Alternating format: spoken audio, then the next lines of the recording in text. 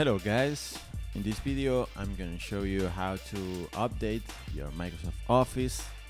In this case I'm using Office 2021 but it's the same if you have Office 2019. It's exactly the same process.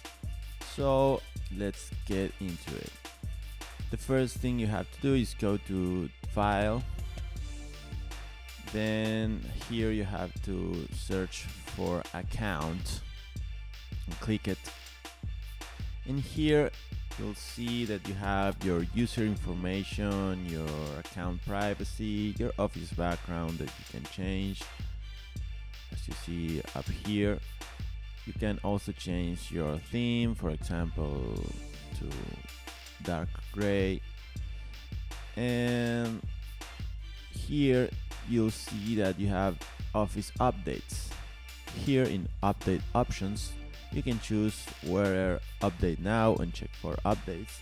To disable updates, view updates in your history and if you want to learn more about updates. So let's check. Let's see if we have some updates for this product.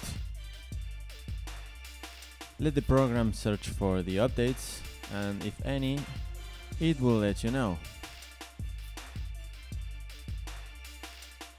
Well, here, just in case you were working something, they tell you that you must save your work before continuing. Okay, updates were installed, your Office updates have been installed, you can use your Office apps now. Great. And that's it, now we have Office completely updated.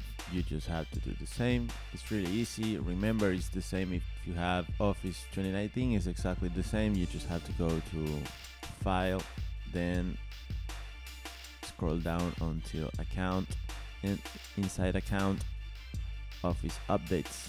Update now. Of course, you can download Microsoft Office with instant digital download, money back guarantee from our website softwarekeep.com with also 24/7 lifetime customer support. And that's it for today. I really hope you like this video. If you have any questions, let me know in the comments.